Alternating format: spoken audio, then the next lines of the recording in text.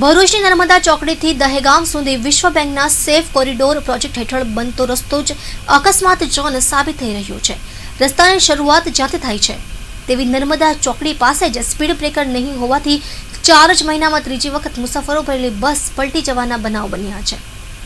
રાત્રિના સમયે સુરતથી ખાંભા જઈ રહેલી લક્ઝરી બસને દહેજ તરફથી આવતી ટ્રકે પાછળની સાઈડ પર ટક્કર મારતા બસ પલટી ગઈ હતી. અકસ્માતમાં બસમાં સવાર ત્રીસમાંથી પંદર મુસાફરોને ઈજા થતા તેમને સારવાર માટે સિવિલ હોસ્પિટલમાં ખસેડવામાં આવ્યા હતા. રસ્તાની બંને તરફ રેલિંગ લગાવાઈ રહી છે. પણ જરૂર છે ત્યાં સ્પીડ બ્રેકર નહીં મૂકવામાં આવતું હોવાની ફરિયાદ ઉઠી છે.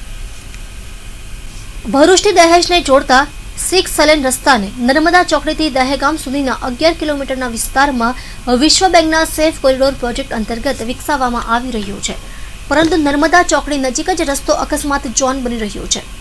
દહેજ તરફથી સુરત કે વડોદરા જવાના રોડ પર સ્પીડ બ્રેકર નહીં હોવાથી અકસ્માતના બનાવો બની રહ્યા છે. ચાર મહિનામાં જ આ સ્થળે ત્રણ બસ પલટી જવાના બનાવ બની ચૂક્યા છે. સોમવારે રાત્રિના સમયે નર્મદા ચોકડી નજીકથી ત્રીસ મુસાફરોને લઈને સુરતથી ખાંભા તરફ એક લક્ઝરી બસ જઈ રહી હતી. દરમિયાનમાં દહેજ તરફથી મીઠું ભરીને આવતી ટ્રકના ચાલકે પોતાની ટ્રક પૂર ઝડપે હંકારી લાવ્યો હતો. આ સમયે વડોદરા તરફ જતી લક્ઝરી બસ દહેજથી આવી રહેલી ટ્રક લક્ઝરી બસની કંડક્ટરની સાઈડ પર અથડાતા લક્ઝરી બસ પલટી મારી ગઈ હતી. રાત્રિના સમયે બનેલી ઘટનામાં મુસાફરોની ચિચિયારોએ વાતાવરણ ગુંજાવી દીધું હતું. અકસ્માત થતાં જ ટ્રક ચાલક પોતાની ટ્રક મૂકી ત્યાંથી રફુચક્કર થઈ ગયો હતો. ઘટનાની જાણ થતાં ભરૂચ સી ડિવિઝન પોલીસ સ્ટેશનનો સ્ટાફ તુરંત સ્થળ પર દોડી આવ્યો હતો.